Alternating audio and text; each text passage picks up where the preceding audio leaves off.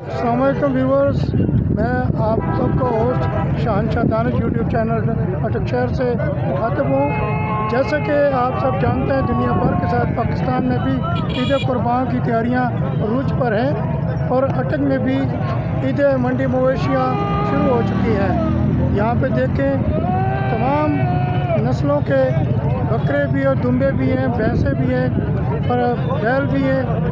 ये देखें, कितना ज़िला अटक से यहाँ पर जो है ना फ्री फरोख्त के लिए लोग आए हुए हैं।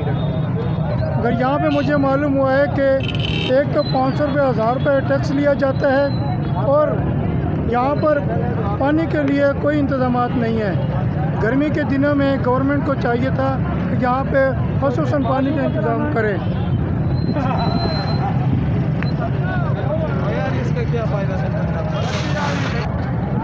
ये देखें व्यूवर्स कितने खूबसूरत दुम्बे यहाँ पर मौजूद हैं। ये ईद कुर्बान के लिए तैयार हैं।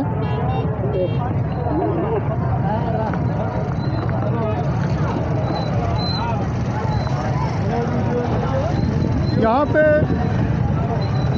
कुछ लोग जानवर फ़रोख करने के लिए आए हैं, कुछ ख़रीदने के लिए। कुछ यहाँ पर लोडर्स रिक्शे वाले भी मौजूद हैं। ये भी उम्मीद लगा कर बैठे हुए हैं, कोई जानवर फ़रोख्त होगा, हमारे लोडर पर ये लोड करके अपने अपने घरों को ले जाएँगे। इस महँगाई के दौर में ये भी इनकी मुश्किल में मज़ीद इजाफ़ा हो रहा है, क्योंकि इनको जो ये किराया मांगते हैं, वो किराया मुसाफिर देना नहीं चाहता, क्योंकि उनकी जेबों में भी आजकल के मुश्किल के वक्त फंड बहुत कम होता है। और यहाँ पे मुझे मालूम हुआ है कि यहाँ पे जो जानवर फरोख करने के लिए आते हैं या ख़रीदने वाले आते हैं, उनके पानी के इंतज़ाम कोई नहीं है। गवर्नमेंट को चाहिए कि इस जानवर तोजह दे और इनको पानी मुहैया करे।